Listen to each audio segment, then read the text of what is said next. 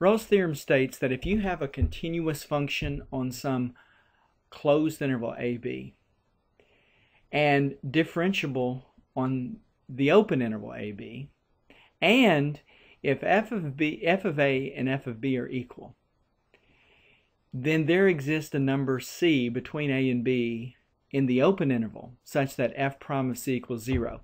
So let's look at a graph to see if we can figure out what this is saying.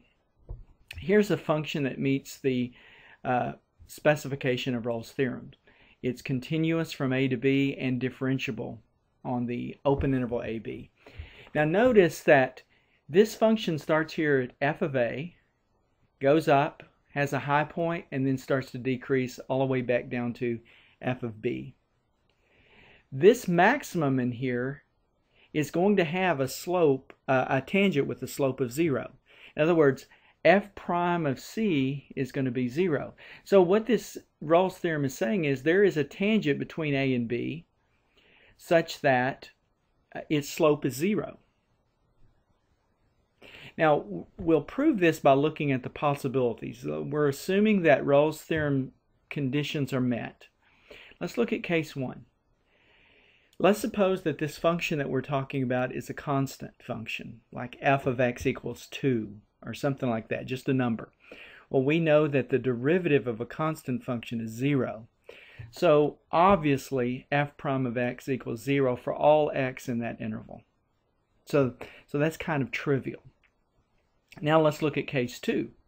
Case 2 states that, well, it, it addresses this situation similar to what we have in our uh, graph up here, and I've drawn a little one over here. Let's suppose that there's an x value such that f of x is greater than f of a. Well, then there has to be a maximum in here.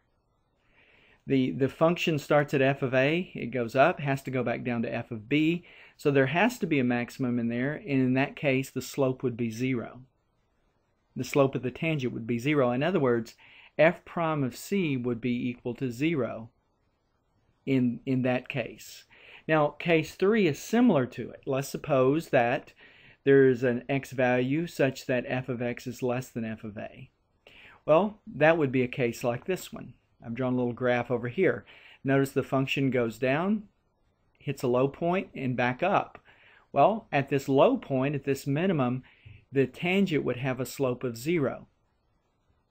So f prime of c would be equal to 0.